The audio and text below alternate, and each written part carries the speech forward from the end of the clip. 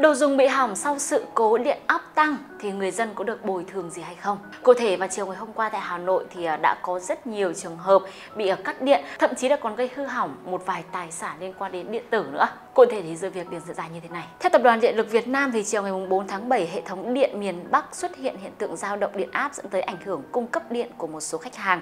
Nguyên nhân ban đầu được xác định là do thời tiết nắng nóng, tiêu thụ điện tăng cao và một số máy phát điện bị gặp sự cố gây dao động điện áp do đó gián đoạn cung cấp đến một số khách hàng ở phía Bắc. Và sau sự cố thì Trung tâm điều độ hệ thống điện quốc gia đã tích cực phối hợp cùng các đơn vị vận hành nguồn và lưới điện khắc phục sự cố, khôi phục cung cấp điện trở lại nhanh nhất cho khách hàng.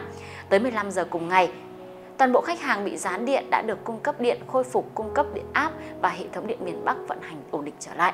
Tập đoàn Điện lực Việt Nam thì cũng mong nhận được sự thông cảm và chia sẻ của khách hàng về sự cố này. Thế nhưng tại một số khu vực ở Hà Nội, sau khi điện áp thay đổi bất thường thì một số gia đình hộ dân đã bị chập, cháy điện, thậm chí là nhiều thiết bị đồ dùng trong gia đình đã bị hư hỏng do điện áp tăng thay đổi như này. Và ở trường hợp này thì rất nhiều người dân đặt ra câu hỏi rằng thế việc hỏng đồ dùng do sự cố điện áp tăng cao thì người dân có được bồi thường bất kỳ một khoản gì hay không? Trước tiên đi đến câu trả lời này thì nếu như bác nào cần có dịch vụ tư vấn pháp luật thì có thể liên hệ với chúng tôi thông qua hotline anh hiển thị trên màn hình nha.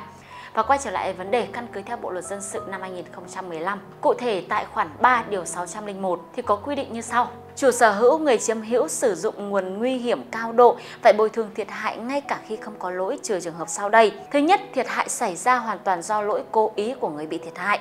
Thứ hai, thiệt hại xảy ra trong trường hợp bất khả kháng hoặc tình thế cấp thiết trừ trường hợp pháp luật có quy định khác. Như vậy thì có thể thấy rằng việc chập cháy sự cố ở trong gia đình, điện hay là đồ dùng hỏng có thể là do nhiều nguyên nhân. Thứ nhất là do sự cố chập điện chẳng hạn và sự cố này thì ngoài ý muốn. Thứ hai là có thể do hành vi của một người nào đó tác động vào. Và nếu như việc xảy ra sự cố thì hoàn toàn có thể sẽ được đặt ra vấn đề bồi thường tại đây. Và nếu như do hành vi thì có thể sẽ được đặt ra vấn đề bồi thường trong trường hợp này. Còn nếu như do sự cố, sự kiện bất khả kháng thì rõ ràng rằng sẽ không thể đặt ra vấn đề bồi thường khi mà xảy ra vụ việc này.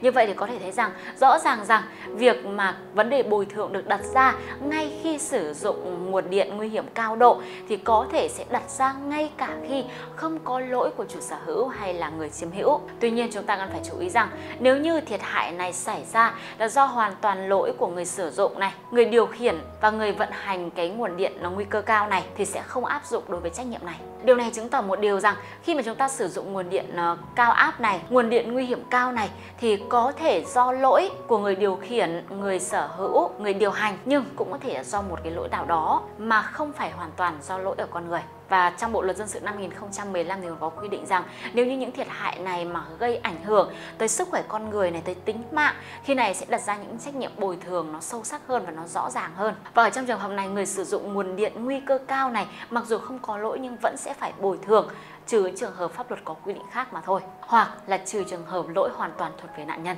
Như vậy thì chúng ta biết rằng rõ ràng rằng bản thân khi chúng ta sử dụng những nguồn điện nguy cơ cao này thì đã chứa đựng rất nhiều rủi ro rồi. Nó có thể ập tới bất kỳ khi nào và cái việc mà đặt ra bồi thường đây thì sẽ chỉ đặt ra bồi thường ở đối với tài thiệt hại về tài sản, thiệt hại về tính mạng con người tới sức khỏe thì khi này cái việc bồi thường trách nhiệm ừ, dân sự sẽ rõ ràng hơn và sẽ cụ thể hơn. Chính vì vậy mỗi người dân chúng ta khi sử dụng bất kỳ một nguồn điện nào, bất kỳ đồ dùng nào trong nhà chúng ta cũng phải hết sức cẩn thận. Đảm bảo khi ra khỏi nhà thì những thiết bị này cần được rút hết những cái phích cắm, cũng như là sẽ lắp đặt những cái hệ thống điều chỉnh cao áp, ngắt tự động, tránh những cái hậu quả xảy ra không đáng có như trường hợp ngày 7 tháng 4 vừa rồi. Và qua đây thì hy vọng rằng video này sẽ phần nào đó giúp ích cho bạn xem.